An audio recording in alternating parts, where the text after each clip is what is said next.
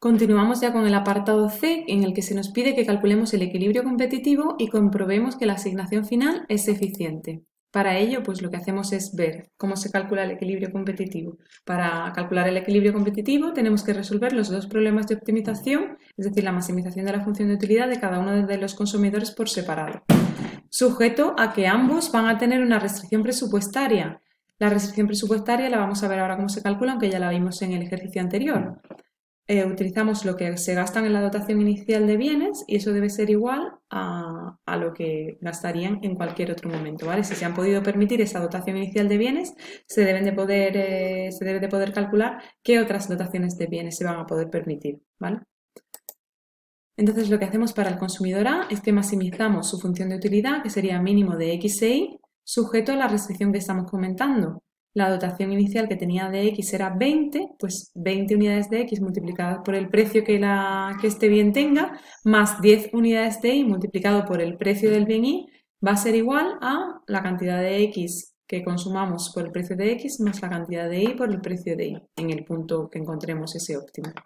Para el consumidor B, su problema de maximización va a ser maximizar la función de utilidad tipo Cobb-Douglas que tiene sujeto a que tenía 50 unidades de X que se podía permitir, multiplicado por el precio que tuviera X, más 60 unidades de Y por el precio de Y, y eso va a ser igual a X por el precio de Y, de X más Y por el precio de Y. Entonces, como ya sabemos, porque lo hemos calculado en el apartado anterior, la relación marginal de sustitución del consumidor A es igual a 1, en el vértice X era igual a Y, sustituimos esto en la restricción presupuestaria. Es decir, ¿qué es lo que sustituimos en la restricción presupuestaria? Pues esta igualdad. Donde pone X pongo Y o viceversa, ¿vale? La restricción presupuestaria es 20 por el precio de X más 10 por el precio de Y. Esto es igual a X por el precio de X más Y por el precio de Y. Sustituimos donde pone Y, pongo X y esto será igual a X por el precio de X más X por el precio de Y, lo que es igual a X multiplicado por el precio de X más el precio de Y. Bueno, pues ahora tomamos esta parte, ¿no? la igualamos a lo que nos ha quedado al final. Y nos quedaría que 20 por el precio de x más 10 por el precio de y es igual a x, como hemos dicho, multiplicado por el precio de x más el precio de y. Despejamos la x de aquí, el precio luego nos lo van a dar o lo vamos a poder calcular porque van a ser constantes, ¿vale? Por lo tanto, la única incógnita que tendríamos sería la x y de donde podemos despejar ya la función de demanda del bien x para el consumidor A que sería igual a 20 por el precio de X más 10 por el precio de Y, dividido entre precio de X más precio de Y. Y como sabemos que en el óptimo X es igual a Y, porque hemos dicho que en ese vértice X era igual a Y, pues esto va a ser también la demanda de Y para este consumidor A. Tendríamos la demanda de X y la demanda de Y para el consumidor A.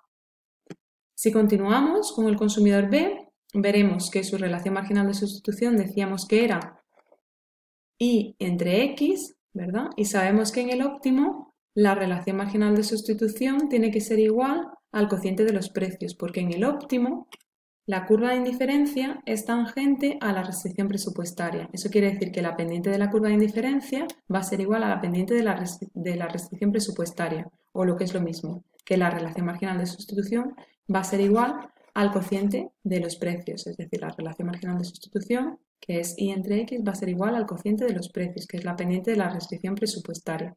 Multiplicamos en cruz y por precio de y, x por el precio de x, nos quedaría esta igualdad. Y vamos a sustituir esta igualdad en la restricción presupuestaria del consumidor B.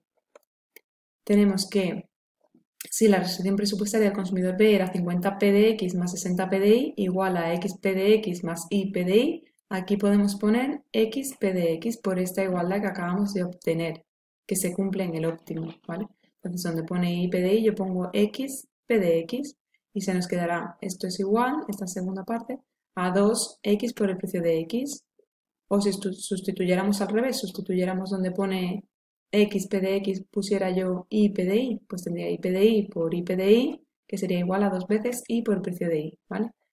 Despejamos, si despejo la x, se nos va a quedar 50 precio de x más 60 precio de y entre dos veces el precio de x.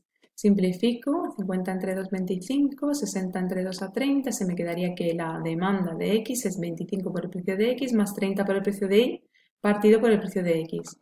y que la demanda de Y, si hago lo mismo, pues me va a salir exactamente igual, ¿vale? 25 precio de X más 30 precio de Y. Aquí eh, lo que hemos hecho ha sido poner la misma diapositiva a todas las funciones de demanda, aunque no hubiera sido necesario porque ya las tenéis anteriormente. Y ahora nos queda calcular cuál va a ser la asignación final y comprobar que esa asignación es eficiente. Para calcular la asignación final lo que hacemos es dar un valor a uno de los dos precios. ¿Por qué? Me lo habéis preguntado también en las tutorías.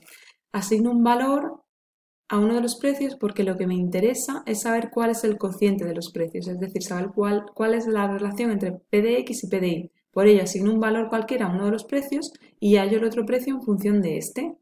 ¿Vale? No me interesa saber si el precio es exactamente 1, 2, 3 o 10, sino saber qué relación hay entre el precio de X y el precio de Y. Y con eso puedo hallar cuánto demanda un consumidor de los dos bienes y cuánto demanda el otro consumidor de los dos bienes. Entonces yo lo que he hecho ha sido suponer que el precio de X es igual a 1 y sustituyo eso en eh, la dotación total que tendría que haber en la economía. Sabemos que la demanda total del bien X en la economía tiene que sumar 70, ¿vale?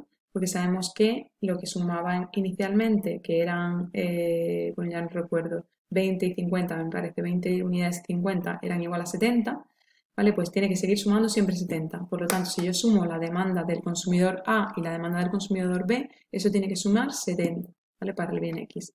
Entonces lo que hago es sustituir eso que acabo de comentar, XA, que es lo que demanda el consumidor A, pues lo sustituyo con su función, XB, que es lo que demanda el consumidor B, lo sustituyo con su función, y donde pone precio de X, pongo 1, porque he dicho que el precio de X lo voy a igualar a 1, ¿vale? Tendríamos 20 por 1 más 10 por el precio de Y, partido de 1 por el 1 más el precio de Y. Más 25 por 1, que es el precio de X, más 30 por el precio de Y, partido por 1, que es el precio de X, ¿vale? Y esto lo igualamos a 70, es decir, a 70, que es el total que debería de haber de X y de Y. Y ya de aquí lo que voy a hacer va a ser despejar el precio de Y. Despejo el precio de Y y lo que tengo es 20 más 10 por el precio de Y, más 25, o sea, esta parte, 25 más 30 por el precio de Y, que lo tengo que multiplicar por esto, y lo que nos queda, es decir, igual a 70, va a ser 1 más el, multiplicado por 1 más el precio de i, ¿vale? Lo que estoy haciendo es simplificar todo esto para poder sacar el precio de i. Voy eh, multiplicando, sumando, haciendo todas las operaciones hasta que obtengo esta ecuación de segundo grado. Y si resuelvo esta ecuación de segundo grado me van a salir dos precios, uno negativo y uno positivo. El precio negativo lo desecho porque nadie, ninguna empresa vendería a un precio negativo y tomo el precio positivo que es 1, ¿vale? Entonces, cuando el precio de X es 1, el precio de Y va a ser 1. Por lo tanto, el cociente de precios va a ser igual a 1. Y esto debe de coincidir con la proporción de bienes en la economía. El total de bienes que había en la economía era del bien X 70, del bien Y 70, por lo tanto 70 entre 70 es 1, coincide con el precio, ¿vale? Con el cociente de los precios. Finalmente, si sustituimos esos precios en las funciones de demanda, vamos a hallar lo que demanda cada uno de los consumidores de cada uno de los bienes. Es decir, el consumidor A demandaría 20 por 1 más 10 por 1 partido de 1 más 1. Y todo esto da igual a 30 entre 2, que es 15. Por lo tanto, el consumidor A va a demandar 15 unidades del bien X. Y como sabemos que en el óptimo X es igual a Y para este consumidor, pues también va a demandar 15 unidades de Y. Sustituimos para el consumidor B y nos da 25 por 1 más 30 por 1 partido de 1. Esto es igual a 55 para el consumidor, para el consumidor B del bien X, perdón, del bien Y, exactamente igual. Nos da la misma, el mismo valor. Si vemos esto dentro de la caja de Edward, pues sabemos que tiene el consumidor A 15 unidades del bien X, consumiría, y 15 unidades del bien Y, ¿vale? Por lo tanto estaría en este punto. Para el consumidor B, 55 unidades de X y 55 unidades de Y, hemos dicho. ¿Vale? Aquí tenemos eh, lo que demanda de cada consumidor de, de cada bien. Pasan por la curva de contrato, como vemos, ¿vale? Y estas serían sus curvas de indiferencia. Para el consumidor A, la curva de indiferencia es la celeste que tiene forma de L porque los bienes son complementarios para él. Para el consumidor B tiene esta forma porque eh, su función de utilidad es de tipo Cobb-Douglas, ¿vale? Tendría esa forma. Por último, podemos comprobar que nuestros cálculos son correctos si sumamos las dotaciones eh, en el óptimo deben coincidir con la suma de dotación total de la economía. Es decir, lo que consume el consumidor A de X más lo que consume el consumidor B de ese mismo bien debería sumar 70, que era la dotación total de X en la economía. 15 más 55 son 70, está bien. Y lo mismo ocurre con el bien Y. Para el consumidor A, 15 unidades de I, para el consumidor B, 55 unidades de I, el total es 70 unidades de bien Y en la economía. Si introducimos estos datos también en la curva de contrato, pues debería salirnos que Y es igual a X. En el caso del consumidor A, Y es igual a X ¿Está correcto? En el caso del consumidor B, y es igual a X. Por lo tanto, ya tenemos el ejercicio resuelto y hemos comprobado que esa asignación final es eficiente desde el punto de vista de Pareto porque pasa por la curva de contrato. Y además se trata de un óptimo donde las curvas de indiferencia son tangentes entre ellas. Este sería el final del ejercicio.